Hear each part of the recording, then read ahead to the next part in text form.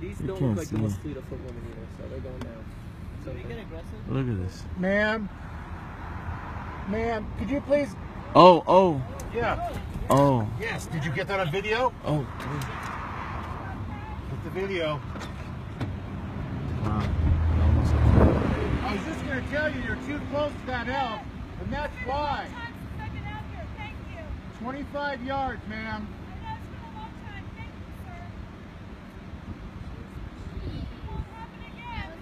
I'm sure it won't.